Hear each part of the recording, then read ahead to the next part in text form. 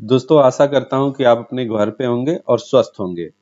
जैसा कि हम लोग जान रहे हैं, आजकल कोरोना वायरस फैला हुआ है, जिससे लड़ने के लिए गवर्नमेंट तरह तरह के उपाय कर रही है। उसमें एक उपाय अभी उन्होंने किया है, आरोग्य सेतु नाम का एक मोबाइल ऐप लॉन्च किया हुआ है, जिसके बारे में लोग थोड़ा सा कंफ्यूज हैं।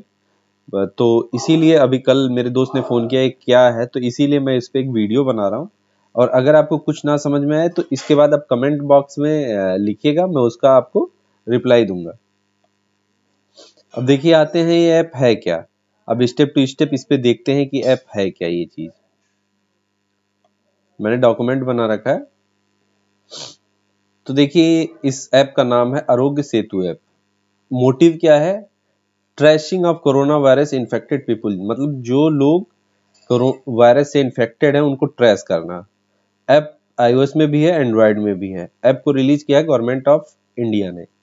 इसका इस्तेमाल कैसे करना है?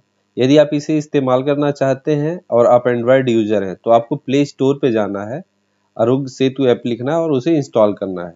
इंस्टॉल करने के लिए जैसे ही आप इंस्टॉल करेंगे, आपने ऐप इंस्टॉल किया ही होगा।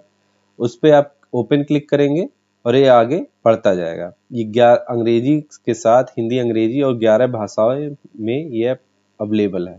ये देखिए, ऐसे स्क्रीन आ गई। आपको जो, जिस लैंग्वेज में जाना है, उसे सेलेक्ट करके नेक्स्ट क्लिक कर देना। बहुत सिंपल है। और मैं इसका लिंक ऐप का डिस्क्रिप्शन बॉक्स में दे दूँगा। आप वहाँ जाके डाउनलोड कर सकते हैं। नेक्स्ट पे क्लिक करते ही आपको नए पेज खुल जाएँगे। वो जो इंस्ट्रक्शन आएँगे, उस इंस्ट्रक्शन पे आपको क्लिक करते जाना है और आपको रजिस्टर कर देना है। अब ऐसा कुछ आएगा आपके पास एक स्क्रीन जिसपे डिटेल होगी, थोड़ी सी इंफॉर्मेशन होगी। इसको करते जाएँगे रजिस्टर करने के लिए। अब आपको इसके बाद क्या करना पड़ेगा? ये मोबाइल एप्लीकेशन आपसे ब्लूटूथ और डाटा शेयरिंग ऑन करने के लिए बोलेगा ऑलवेज ऑन करने के लिए। उसी को यूज़ करके ये आपको ट्रेस करके बताते हैं कि कहाँ पे इन्फेक्टेड पीपुल हैं। ऐप देखिए, यहाँ से परमिशन आपको मोबाइल लोकेशन की ब्लूटूथ की और डेटा शेयरिंग की। इसके बाद आपको अपना मोबाइल नंबर इसमें डालना होगा। और सबमिट का बटन दबा देंगे ओ आएगा। ओ के बाद आपका मोबाइल रजिस्टर्ड हो जाएगा। इसके बाद आपको एक फॉर्म मिलेगा, जिसमें आपको अपना नाम, उम्र और तीस दिनों के बारे में, यात्रा के बारे में पूछा जाएगा। अब इससे क्या होगा, आप जिस जिस लोकेशन पे गए हैं, अगर वो खतरे के निशान पे है तो भी आपको एक मैसेज आ जाएगा, आपको दिखा देगा कि आप इन्फेक्टेड हो सकते हैं। कोई ज़रूरी नहीं इन्फेक्टेड हो, लेकिन अगर आप उस एरिए में गए हैं, ऐसे लोगों से मिले हैं तो आपको ऑटोमेटिक एक मैसेज आ जाएगा। अब देखिए, इसमें खतरे का निशान दो तरीके से बताया गया एक हरा कोड पीला कोड अगर हरा कोड है तो इसका मतलब आप संक्रमण से दूर हैं, आप सुरक्षित हैं।